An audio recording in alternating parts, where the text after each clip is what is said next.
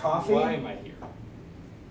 We're gonna be here for a while, so I think you're gonna want some coffee.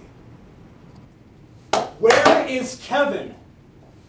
I'm sorry. that was a bit much. I I saw it done in the movies a couple of times. It's my first day on the job and I thought I would try it. Unsuccessful.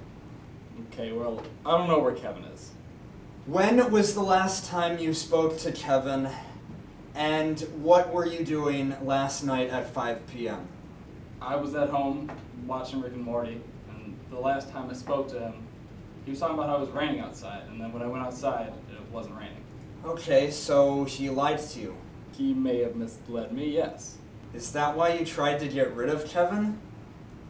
I was angry, and I didn't want it to go down like that.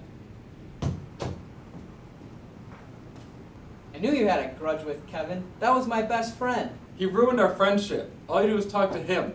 I know things too. Do you have any idea how much Kevin cost me? Wait, what?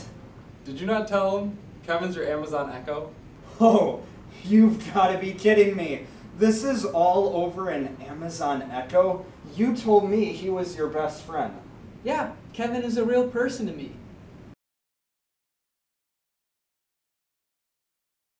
So, Kevin, what happened to you?